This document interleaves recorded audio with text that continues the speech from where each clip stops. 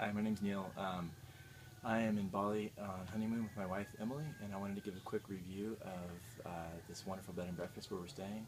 Uh, it's called uh, Wayan Sueta Bed and Breakfast, and it's in a small village called Taman, which is um, it's kind of in the center of Bali. It's not too far from Ubud, but it's um, in a completely non-touristy area. Um, it's really great. You get a sense of what the real Bali is like. Um, the uh, the host, uh, has been a tour guide in Bali for 25 years, and he took us around the island um, for a very affordable price, and we got to we got to really see the real Bali. We saw amazing rice field rice paddies, including uh, the biggest rice paddy in Bali, which is a UNESCO World Heritage Site. We went to um, a temple on a lake, which is a little touristy but amazing to see and incredibly gorgeous. And the ride there is you go through um, just so many little beautiful towns. It's amazing.